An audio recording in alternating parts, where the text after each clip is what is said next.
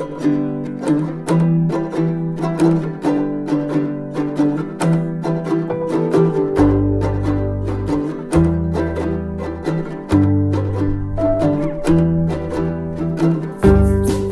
good morning, guys. It's another cool day in Connecticut. Uh, it's today is Sunday, and uh, we're gonna be doing some more splitting.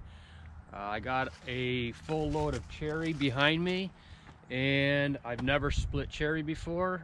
Uh, it's the first for me because everything on my property is usually red oak or maple, and I do have white oak also. We'll split it open, see what it looks like, and. Um, uh, like I said, I've never split cherry before. Let me know what you think in the comments below. Is cherry a good wood to uh, to burn? Uh, I'd like to know. I'd like to get some feedback from you guys. But let's get it uh, started up, get the splitter warmed up, and uh, start popping this open.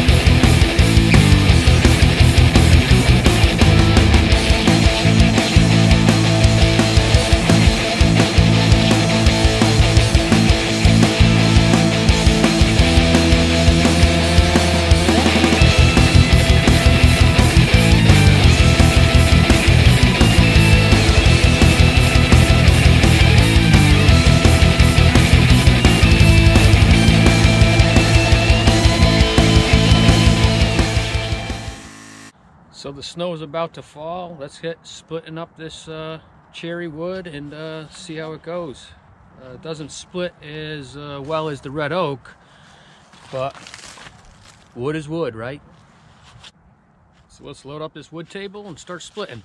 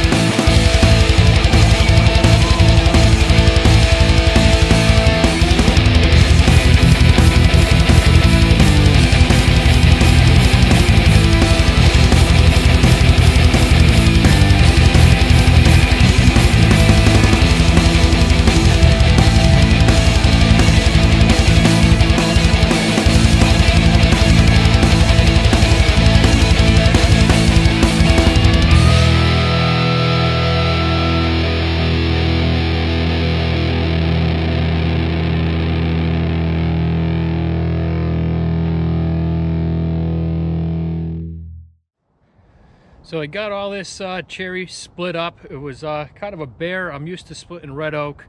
Uh, it's the first time I ever split cherry firewood before, but it looks pretty nice.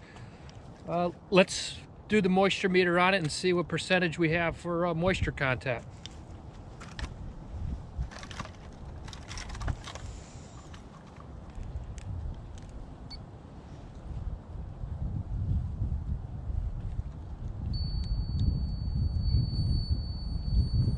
So we are at 21% on this wood, which isn't bad. So probably another six months, four months, maybe it's ready to sell. Let's try another piece over here.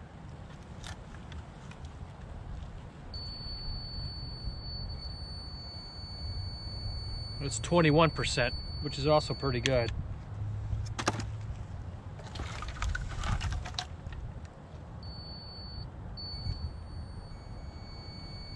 This one's 25%. So we're going up.